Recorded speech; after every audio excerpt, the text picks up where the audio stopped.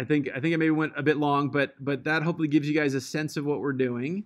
Um, let me uh, make sure that I'm seeing everybody and hearing if you guys have any questions so far. Hey, good morning. This is Tyler Coustrick. Hey, Tyler. Uh, I was wondering uh, about the uh, display of the species that you showed in uh, Excel.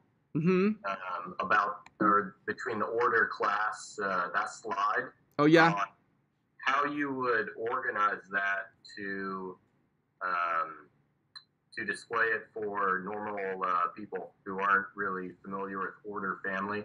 As far as alphabet alphabetization, um, would you alphabetize order and then family? Oh yeah. Yeah. yeah, So oh, sorry. Yeah. So if I was sorting things, yeah. Yes. So so generally I would well I would you however you want to do it, however it works for you guys is cool. Generally speaking, since this is more of a of a um, using more traditional taxonomic organization, um, so these guys are spiders. And, and I know you guys don't know that, or maybe don't know that yet. But if you if you flip through that that guide, you'll see this, and it'll become you know apparent. So um, spiders are not insects. So I would I would sort of first organize it by um, you know by taxonomy, but then for the insects I would do it alphabetically, right? So then for the insects I would do it alphabetically, and and and if you guys not that, not that you have to know how to do this, but if you wanted, I think you guys all know this, but if I wanted to um, sort multiple um, rows in either Google Sheets or Excel or whatever, you can just come up and do sort, and I can say the first one is my column A. Next would be my column B. Next would be my column C, C. And if you went through that, it would it would it would organize stuff so that it would be like um, Tyler's talking about. So if that helps you, great. Um, uh, but uh, yeah, yeah, I guess I'll just say that. So so there's no there's no magic to how you want to do that. Although typically I would do it I would do it um, based on higher level taxonomy. Did I answer your question? Maybe I didn't answer your question.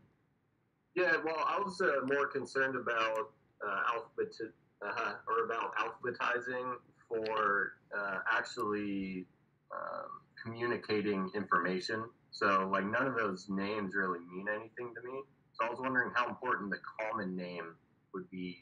Oh. alphabetizing that But instead. by all means, so if you're if we were writing this to an academic journal, I would not worry about that at all. But since you guys are generating a report for your client, your client might not know what coleoptera are. So by all means, I would I would I would I would add maybe order and have the scientific name and then have the the common name, you know, beetles or weevils or ants or something of that nature. And um, and one thing that as as Brent was saying, one thing that I would do definitely if if you know if you just saw you know 50 random things and it wasn't that important that's one thing. You can have a table like this. But if um, if we, we are we're concerned about food for birds or our most common um, critters and you guys probably aren't going to get hundreds and hundreds of things. I would take a picture of these guys the represent a representative picture of of the moth or a representative picture of the ant or whatever.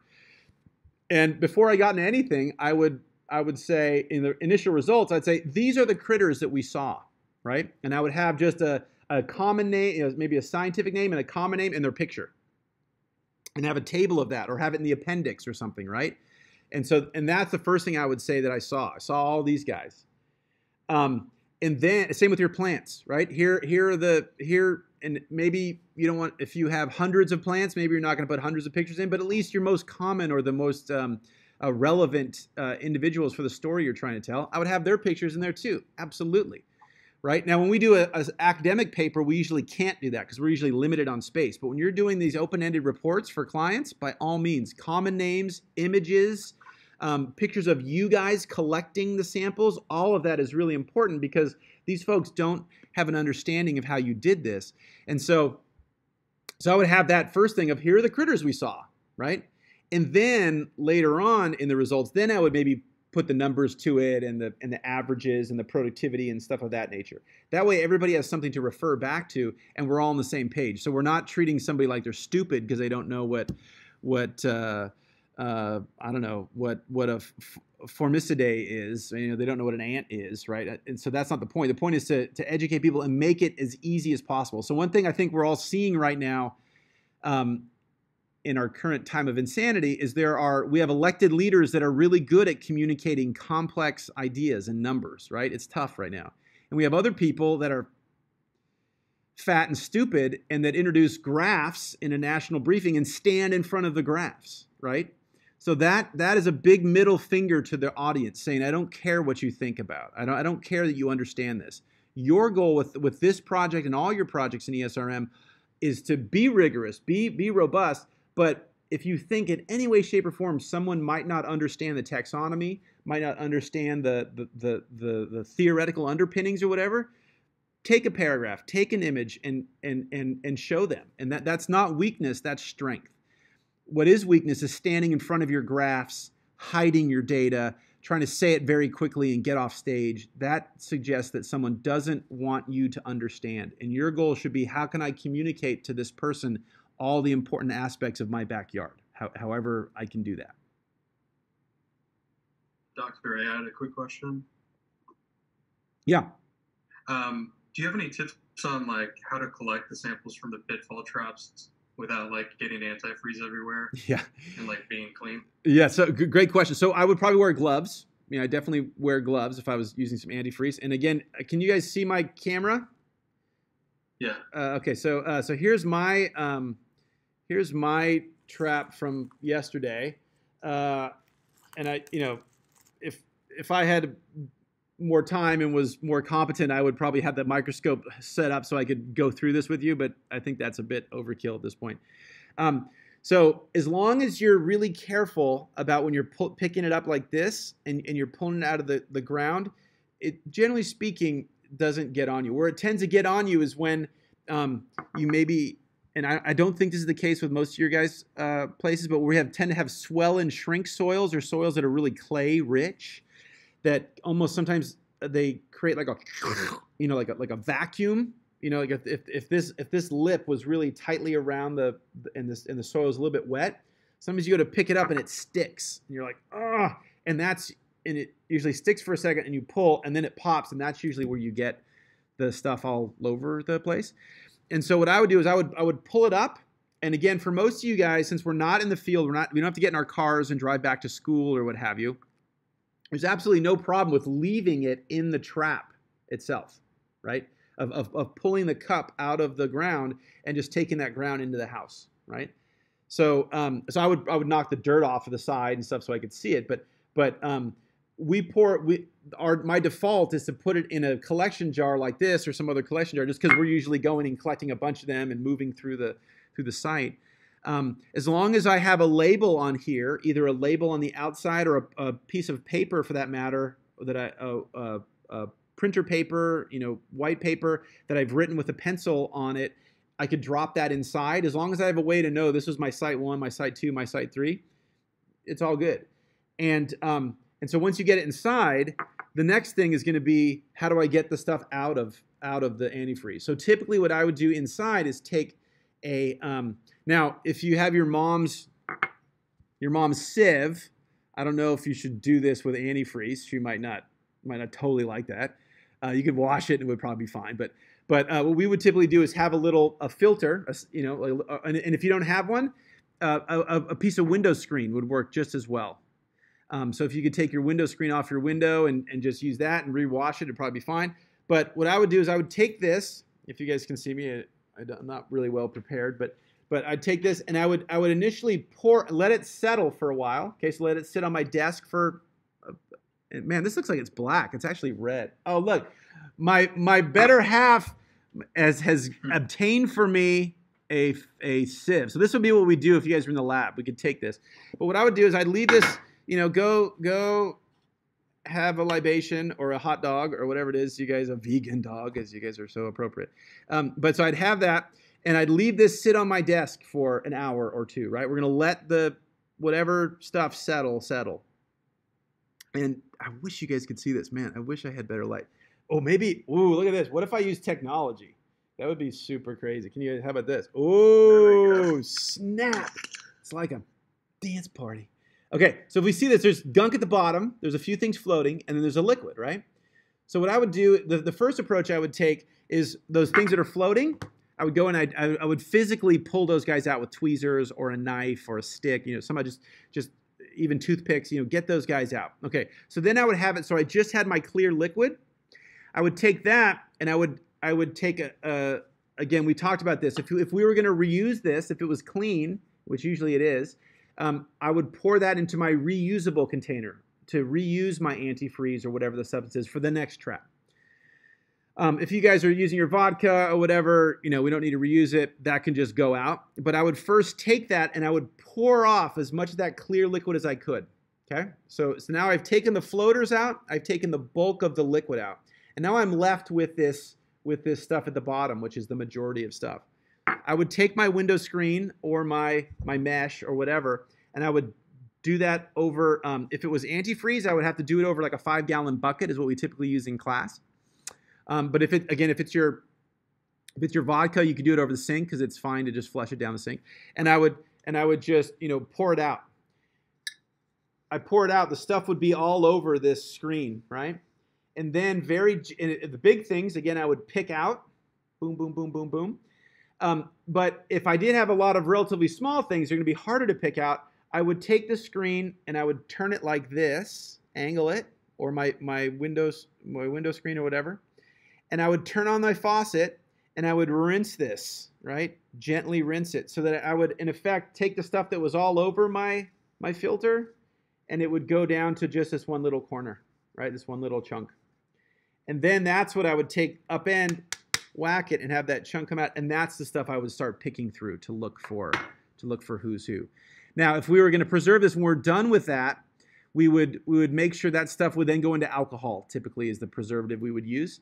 But um, the key thing is once we remove. Now, if you guys are using the vegetable oil or whatever, you're probably fine. If you're using the the coolant or the glycerol, you're fine. You can you can take take an hour or two to go through your stuff. If you're using more of the vodka type of type of um, materials that are just alcohol based, and I remove all my critters from that alcohol, they've been soaking in that alcohol, they're going to start to dry out. And so, you know, the big beetle isn't going to change that much, but the smaller critters, the worms and things of that nature will potentially start to change a lot.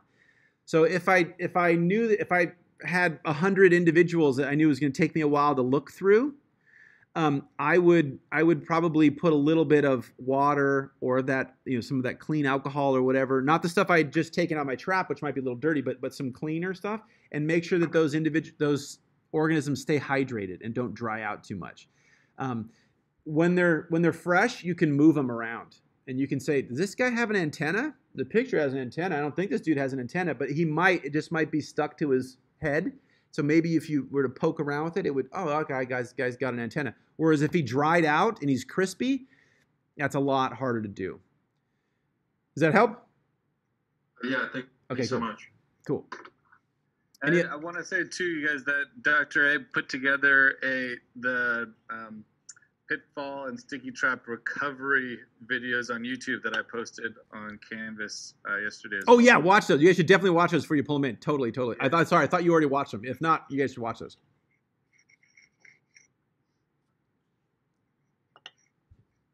It's so interesting. Everybody's so excited about this project. So I have a uh, I have a slight question. Yeah. Uh, so I, it might just be that Zoom cut you off at an inopportune time, but I thought you said something about actually having bees in our uh, in our pit traps. I was wondering how that works. Oh, uh, so we've, we've gotten them in the past. Uh, I, I, guess I, I, was talking off the top of my head. More, we're more typically likely to get bees in the sticky traps. I thought so. That's why I was asking because it was like, hold on. Yeah, no, no, no. So, so I, I was if I if I said that I misspoke. Um, pretty commonly we get ants in the pitfall traps. We pretty commonly get mosquitoes, flies, and bees on the sticky trap. Um, I'd say interesting though. It will, it'll be interesting to see what you guys get after the fires. After the fires of in Cam Park, for the first time we had some sticky traps covered with ants, completely, completely covered. Never before had we ever seen that. And so what seems to have happened is the ants, these are Argentine ants, they they survived the fire and uh, and came up and were like, what the hell? And there was no food because everything was dead. And so they were they were essentially food hunting. Um, and so sometimes you do get things that fly in the pitfall traps and things that crawl occasionally on the sticky traps, but those are usually aberrant events. Thank you. Yeah.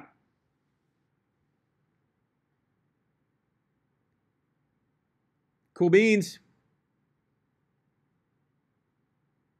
Any other questions for Dr. A on this, or anything related to the sticky traps and the the pitfall traps? So, just out of curiosity, people are mostly going to pull their traps in today or in a couple days.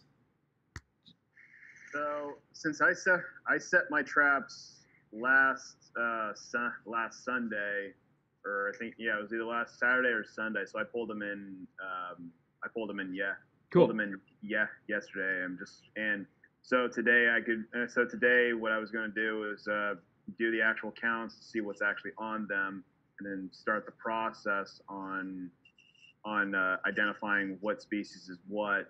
And then after and after counting all that, then you add it into the eh, into these spreadsheets. Correct? Yeah, yeah, yeah, yeah. So great. So, so there's there's nothing magic about about having to do the counting today. That's fine. The ideal thing would be if you guys could have the traps deployed for five days. But if something comes up, if it's six days now, it, it, it, we can adjust that. We just need to make sure that the the days are adjusted. That's just nice to have a standardized. Since we have a standardized area, it's nice to also have the standardized time, um, even though we do adjust for time. Um, but uh, the nice thing about uh, both the the pitfalls with the liquids that you have in there and the sticky traps is they do they do persist for for you know a long time. So so if we left this sticky trap in the hot sun for a couple weeks, some of the critters would start to get a little smushy and everything. But even then, I mean, we have we've had traps that are you know 15 years old that are you know they're obviously in the lab, so they're not not uncontrolled environments, but but um, most of these critters you'll get on here are mostly exoskeleton, and so they they do preserve fairly well. And and I, I don't know if I showed you guys this, but but if you care, just to look at look at my one, one other thing I'll note, what tends to happen if we have the trap on the um, on the uh, uh, types of uh, hoop hoop uh, ring supports that we put that can move with the wind, what we tend to get is we tend to get a side that is more diverse and more um, abundant critters, and that would be this side. There's a mosquito hawk and stuff on here. You guys can see that. And then a, a trap that is less, or a side that is less, um, you know, fewer dudes. And that's primarily because this is generally the, the side that would be most oriented into the wind, and that's where most guys are encountering it. Um, so, so yeah, so these guys, these guys are preserved for you know for some time. Um, so, so there's nothing magical about the day you process them. I just was curious if people, um, did anybody, did anybody not, has anybody not received their traps? Okay, cool. Yep. I think everybody, maybe one person, it might have been sent to their neighbor's house, but we figured, I think we figured that out yesterday. Excellent. Um, what? How do you? So I think it. I, I know a lot of students are kind of distributed throughout the the state now, but is it worth saving these once campus opens up and and keeping these? I, I'm kind of a a, I'm not a hoarder for Yeah. anything else besides data, and I think it's always useful to keep, especially things like this, like sticky traps, where it's it's easy to store a shit ton of them in a small space. Yeah. So No, I think so. Uh, I think so. I, I think it would also be cool to maybe next week if and, I- and I haven't talked to Brent about this, but but if if it's if it's cool, maybe we could do a quick just ten minute chat. I'd just be curious what people are seeing, right? I mean, So so so part of that is also are, are we seeing similar things all over the place? Are we seeing really different? We've never done this backyard investigation, so so I think it would be great if you guys can save them. I would. I, I- I mean, I mean the sticky traps are easy to save. I mean, they're just Yeah. you just put them together. Um, the uh, uh, I would say the one thing that we do do with our sticky traps that I didn't tell you guys about, but if we were going to go down this route that, that Brenton is asking about, we will write with a sharpie. Even if I didn't use a sharpie to to to break up my to organize my um, my counting, we do write counted the date we counted it, the date and the person's initials. So we do know that this trap was indeed processed. Um, and uh, so if we are going to do that, it would be great for you guys to just note that. So if we were to archive them, we would know that these there's, there's this data should exist somewhere in some data sheet. Yeah, I think it would be great to archive them, especially for those that are in the kind of LA Ventura counties. Would be cool to keep track of them. So if you guys can keep them, that'd be great. And I, I do think next week, I was kind of going to keep next week open. We're going to meet, but just go over last quest, last minute questions for analysis for the report and stuff like that. So that would be a good time that we can kind of just everyone can show some of their sticky traps and see, you know, talk about some of the cool things that they've collected. Um, yeah, that'd be awesome. Cool. Um, other than that, anybody else have questions for Dr. A or myself before we let you go and kind of do these these last kind of surveys and analysis? I'm all good. I have a question. So for the arthropods that we find uh, in the pitfalls, do you want us to save those too? Historically, we do, but um, maybe maybe you guys could save them just for this week, and we can have a discussion, like a really quick discussion next uh, next Friday. So maybe you guys could could keep them, and if you are again, if you are going to keep them, ideal in a little bit of alcohol once you've once you've processed them. Um, and so uh, it, you could even just keep them in your same plastic cup or little jar. And if you didn't have a nice lid, you could even just put a, a sort of saran wrap lid over them, um, and maybe just set them aside for the next week, and we can have that. We'll decide next week.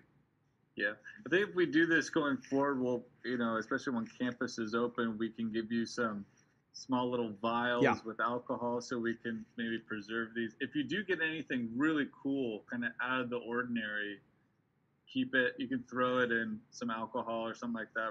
Um, a lot of times I just, you know, if I run out of actual ethanol, the 180, 90 proof, I just preserve. I have so many gobies that are in vodka, I can't even tell you. Or tequila. Muscat. Yeah, it smells. It smells a lot better too. So that'll help at least until maybe campus opens and we can put it in a cool vial if you if you get anything unique. Yeah, I have to Uh, say there there was a discussion uh, with amongst people I know. I don't know what it was about a year ago. Uh, this this uh, colleague was was somewhere in Africa doing sampling, and there was a very very serious discussion on which, which they, she couldn't get uh, you know lab grade ethanol or whatever. So there's a very serious discussion on which brand of alcohol she should be bringing with her. The Uh, cheap, the cheapest. I- it, it- it was a very impassioned discussion amongst. Uh, oh, yeah, I just people. get like the big. Uh, I usually always take a big fifth or handle of that Popov vodka, like this crappy Popov. because it's super potent. But then if you actually do need like emergency booze, make a cocktail in the field. Why would anybody ever need that right now? I have no idea why that would be an assist to people at this time Yeah. in our country. Um, Cool. cool. Well, yeah. I mean, awesome guys. Keep posting if you if you're into that. I think it's really awesome to see what everybody's doing. Take good photos. Um, I'm really big on taking photos uh, of these kinds of stuff because once you pull it and you know you start analyzing it, it it's uh, you know it's easy to kind of get in that mode and be like, oh crap, I forgot to take photos of, of the whole process.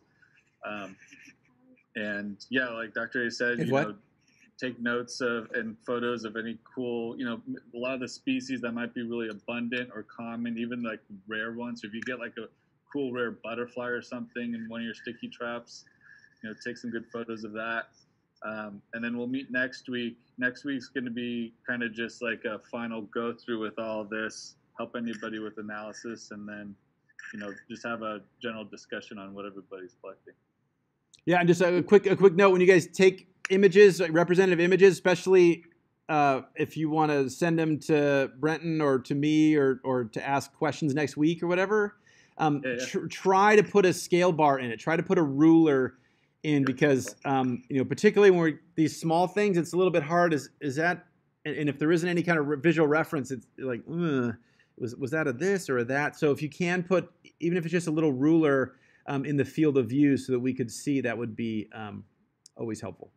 Yeah, and make sure to check out the, the manual that I, I posted that Dr. A shared that has a lot of invert IDs. iNaturalist is pretty good with with insect IDs too, especially common ones um, that are found in, in um, urban areas. And so if you if you go if you go through that uh, ID key and iNaturalist and you still can't figure anything out, send us a, a photo and we can try to help you out with it.